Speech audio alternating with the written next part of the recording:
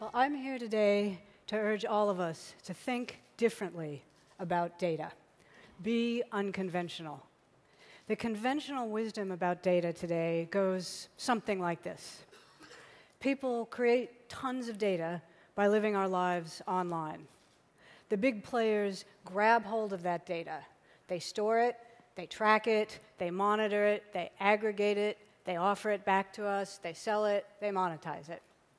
Application developers access this data through the big players. They become the points of control over our data. We create data by living online, but we become disintermediated from it. We don't control it. We might, in fact, own it in some way, but we don't have access to it. We don't know what it is. We can't combine it. And customization and personalization some of the great offerings of the web become knobs and dials on the data packets that the points of control create. I might be able to turn my privacy up or down, but that's the degree of control I have over the data and what happens to it. Now, this is a very 20th century view of the world. We have essentially created giant data factories with automated processes where each one of us is treated in the same way through the same automated process. This allows the data factories to get to scale, and it allows the provi provision of user experiences that can be exciting and interesting. But it is at heart an industrial era process where the information we create, our data is packaged up, we get it back as an experience, and it becomes a product. And I am the same product as you, and as each one of us. The data packet looks the same, we have the same experience, and along the outside there may be some preferences or dials or things that, that the data factory allows me to change after the fact. But the core process of my data footprint, who I am, lives as part of the data factory's process. Now, this means, of course, that the customization all lives within inside a single model. And if we're really lucky, maybe there'll be two or three or four or five data factories, and so we get some competition among them. But this is a highly centralized, very 20th century style. So let's think differently about data for a minute. What could data be? What is a platform that represents the promise of the web looking forward? And in that world, I am the platform and you are the platform for your data. And the collection of data about me from various different places lives in under my control.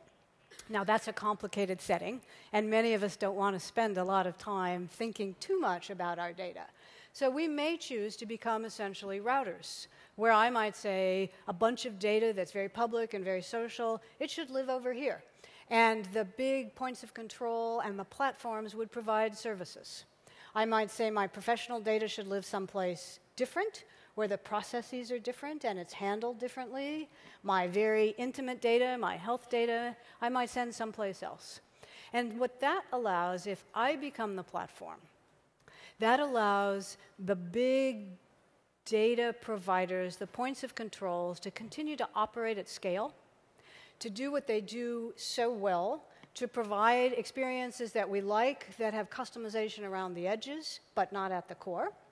And it allows the economic generation of the giant players.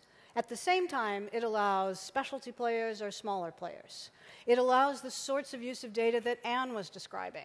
That I would choose to use my data not just to end up in uh, big pharma studies, but to use it in smaller, different areas that may be developed over time. So we would have both the, the, large players, the points of control we see today, and we would have a space which allows development of new players and niche players. We would have the ability to have more peer to peer interaction, and we would allow the kinds of innovation that we have seen across the web.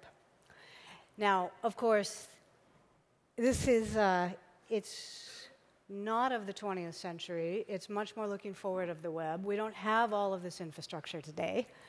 We at Mozilla are building the building blocks for a setting where I can be the center of my life. So you might take a look at some of those identity at Mozilla or apps at Mozilla. But, but whether you are interested in Mozilla or join Mozilla or not, I urge you, when we think about data, think differently. Thank you.